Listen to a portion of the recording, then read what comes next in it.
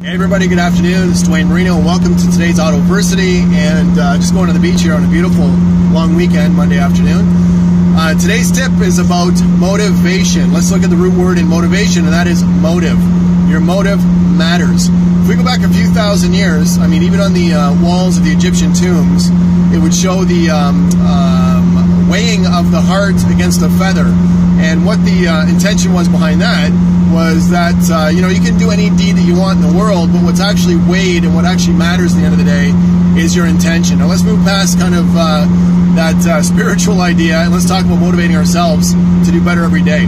I have my motivating whys. I have never done what I do for the money. Hey, I'm happy to make money and I like to make a great living, but uh, I get up in the morning and do what I do for a lot of other reasons besides the money. There's a lot of uh, things I'm running from, things I'm running towards, people I want to help and what I challenge you to do this week is to write down your goals, write down your gratitudes, and then put beside those why you want them, why you appreciate them, and why they're important to you. Because without motivation, the motive in your action, sooner or later, once you get ahead of things, start making money, maybe you pay off the house or credit cards or whatever, you're gonna you're gonna start uh, stalling. You're gonna take your foot off the gas and take it easy.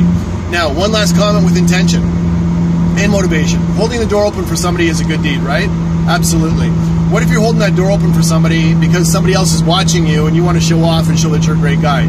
Is it a good deed now? I don't know. That's open for argument. Um, murder is bad, correct? Yes, it is. What if it's to save the life of your child and the only way that you can do that is to take down whatever it is that's in your way that wants to kill your child?